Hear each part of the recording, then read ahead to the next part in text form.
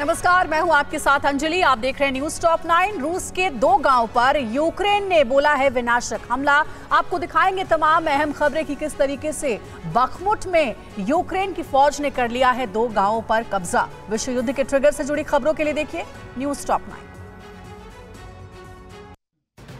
रूस के ब्रायंस्क पर यूक्रेन की ग्राउंड फोर्स ने हमला कर दिया। ब्रायंस्क के दो गाँवों पर यूक्रेन के सैनिकों ने कब्जा कर लिया। यूक्रेन के 50 सैनिकों ने रूस के दो गाँवों के लोगों को बंधक बनाया हुआ है।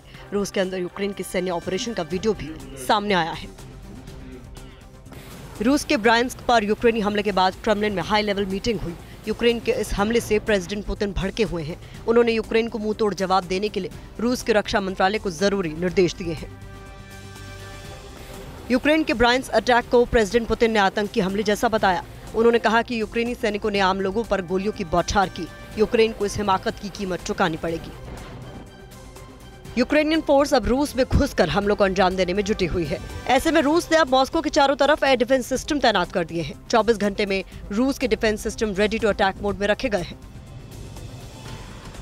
नेटो की इंटेलिजेंस रिपोर्ट में दावा किया गया है कि रूस अब मोल्दोवा में मौजूद वेपन डिपो पर एटम बम दाग सकता है। रूस का टेक्टिकल एटम बॉम्ब एक झटके में मोल्दोवा के वेपन डिपो को ध्वस्त करने में सक्षम है।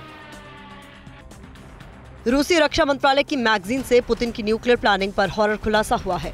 रूसी मैगजीन में दावा किया गया है कि यूक्रेन युद्ध में हार हुई तो अमेरिका तक रूस के न्यूक्लियर हमले होंगे। अमेरिका समेत यूरोप के कई देशों को रूस बर्बाद कर देगा। कजाकिस्तान के मोर्चे पर रूस को अमेरिका ने तगड़ा झटका दिया है। रूस का करीबी कजाकिस्तान अब अमेरिका के पाले में चला गया है। अमेरिका और कजाकिस्तान में रणनीतिक और सामरिक समझौता हुआ है।